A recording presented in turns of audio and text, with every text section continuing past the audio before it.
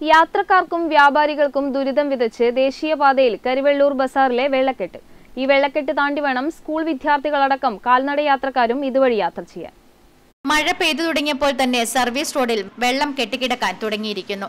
ദേശീയപാതയുടെ നിർമ്മാണം നടക്കുന്നതിനാൽ ഇപ്പോൾ സർവീസ് റോഡിലൂടെയാണ് വാഹനങ്ങൾ കടന്നുപോകുന്നത്. സർവീസ് റോഡ് നിർമ്മിച്ചപ്പോൾ തന്നെ ഓവുചാൽ നിർമ്മിക്കാത്തതാണ് ഇത്രയേറെ വെള്ളക്കെട്ടിന് കാരണം. നിർമ്മാണം നടക്കുന്ന ദേശീയപാതയിൽ നിന്നും വെള്ളം സർവീസ് റോഡിലേക്ക് ഒഴുകി വരുന്നതും വെള്ളക്കെട്ട് രൂക്ഷമാകാൻ കാരണമാകുന്നു. കാൽനട യാത്രക്കാർക്കാവട്ടെ ഇതുവഴി സഞ്ചരിക്കാൻ കഴിയാത്ത സാഹചര്യമാണ്.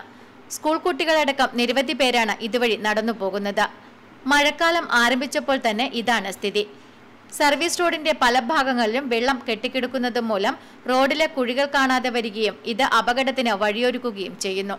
ഇപ്പോൾ വെള്ളക്കെട്ടുള്ള ഭാഗങ്ങളിൽ നിന്നും ടാങ്കർ ലോറിയിൽ മോട്ടോർ വെച്ച് വെള്ളം പമ്പ് ചെയ്തു കൊണ്ടുപോകുന്നുണ്ട് കൂടുതൽ മഴ വന്ന് വെള്ളക്കെട്ട് രൂക്ഷമാകുമ്പോൾ ഇങ്ങനെ വെള്ളം പമ്പ് ചെയ്ത് മാറ്റുന്നതൊക്കെ എത്ര കണ്ട പ്രായോഗികമാകുമെന്നും നമുക്ക് കാത്തിരുന്ന് കാണേണ്ടിയിരിക്കുന്നു. വെള്ളത്തിന്റെ കാര്യമാണ്. വെള്ളം വളരെയേറെ വിഷമം തന്നെ.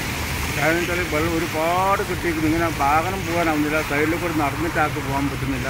ഇപ്പം ദേഹത്തെല്ലാം വെള്ളം ധരിക്കുന്ന അവസ്ഥയിൽ കഴിഞ്ഞ ഇപ്പം ഇപ്പം ആടെ വണ്ടി കൊണ്ടുവന്നിട്ട് അടിച്ചിട്ട് വെക്കുന്നുണ്ട്. തൽക്കാലം അടിച്ചിട്ട് വെക്കാമെന്നല്ലാതെ ഉണ്ട് ഇപ്പം മഴ വന്നു കഴിഞ്ഞാൽ അതുപോലെ വെള്ളം ആദ്യം വരും.